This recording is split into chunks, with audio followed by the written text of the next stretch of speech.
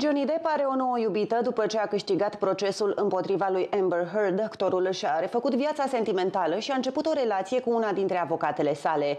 Se pare că noua iubită a lui Johnny Depp l-a reprezentat pe actor în procesul din Marea Britanie. I'll tell you, mate, if every town in the world were like this one, no man would ever feel unwanted.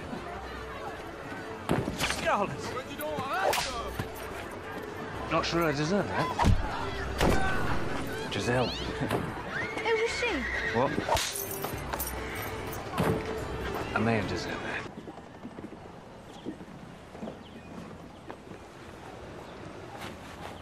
Anna Maria. I suppose you didn't deserve that one either. No, that one I deserve.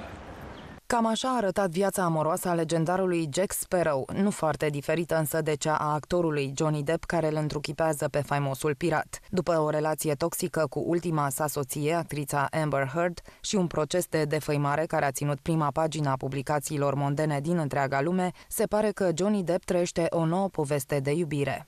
Joel Rich, în vârstă de 37 de ani, este noua iubită a actorului. Aceasta este unul dintre avocații care l-au reprezentat pe Depp în procesul împotriva tabloidului The Sun, după ce actorul a dat în judecată publicația britanică pentru calomnie în anul 2018. Rich nu a făcut parte și din echipa care l-a reprezentat pe actor în procesul împotriva fostei sale soții Amber Heard. Joel Rich a fost însă prezent în sala de judecată pentru a-l sprijini pe noul său iubit. Potrivit unor apropiați ai vedetei, Joel Rich nu ar fi avut nicio obligație profesională în procesul dintre Heard și Depp și că relația dintre cei doi se desfășoară discret. Se pare că avocata era căsătorită când l-a întâlnit pe Johnny Depp, iar acum se află în plin divorț de soțul ei, alături de care are doi copii. Potrivit unor zvonuri, Depp ar mai fi avut o relație cu o avocată, Camille Vasquez, relație care s-ar fi desfășurat în timpul procesului cu Amber Heard. Vasquez a negat însă aceste speculații.